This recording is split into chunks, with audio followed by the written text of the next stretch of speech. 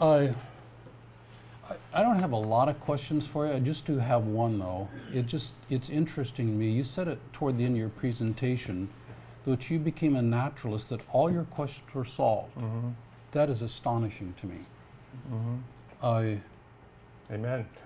yeah, well, uh, let me just pick up one. I was at a lecture here just not long ago at Portland State by a, a fellow whose name I'm sorry I've forgotten, but a, the leading researcher in what we call abiogenesis, that is, life emerging from non life. hmm And I'm sorry I don't remember his name. He's a nas- he's our nationally recognized scholar. Very, very interesting guy. Did a fascinating lecture where he laid out the uh, the evidence and the state of the research really on life coming from non-life.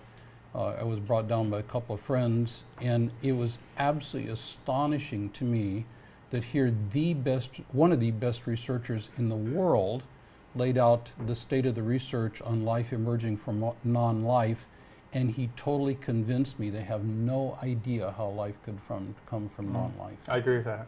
So you don't know how life comes from non-life. Exactly. So you, your problems are not all solved. Uh, the problems, okay, let me tell you about the problems that are solved. What I meant to say, if I didn't say it, is that the contradictions are resolved. In Christianity, there are contradictions left and right all over the place. In a naturalistic worldview, I see zero contradictions. Zero. And if you can name one, name one. But I mean, like I could name the Trinity as a contradiction. Let me just give you one possibility It strikes me as being an issue. Uh, one of the areas that I work in as a Christian is sex trafficking. Work with a place called Door to Grace. I don't know if y'all know the, the ministry. Uh, and they work along with Portland police agencies and SARC and some others to help uh, girls who have been trafficked. And I just, my emotions get going big time just when I think of what's happening because Jesus said beyond any doubt that men enticing girls into sex trade is evil. And the men who come and use those girls for their pleasure are evil. But from naturalism, they're just doing what they're programmed to do. So how can you say Mm. that sex trafficking is evil? Well, you know, it, I mean, that's a, that's kind of a fascinating question. I mean, it's just Mhm. what you're, you're bringing up now moral philosophy, Yes. and you know, there's a lot of different moral philosophies. Like one is called divine command theory, where it says God says it and that's it. I mean, personally, I my morality is on three pillars: consequentialism, reciprocity, and individual free rights. And I look at any kind of moral issue through that. It's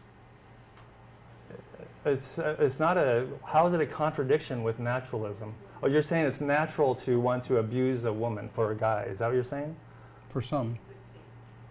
Um, just because you have a natural feeling doesn't mean it's morally correct, and that's this is again where we're getting to moral philosophy. Mhm. So I mean, we have a brain, and we could figure out what the best thing to do is, and usually, i- and this is this entails what is good and bad, and good and bad I think is what relates to moral flourishing or Yeah. So human why, flourishing why would you say that powerful men using women is wrong? Yes, because I gave I gave some principles why, like in, it violates free right, uh, individual rights, it violates consequentialism, you know, and reciprocity, all, all kinds of uh, violations in my moral philosophy, and th- there's no God needed for that. Oh, open up the audience. Hmm? Oh, open up the audience. You have nothing further you want to ask? I don't. Specifically? Okay. All right, guys.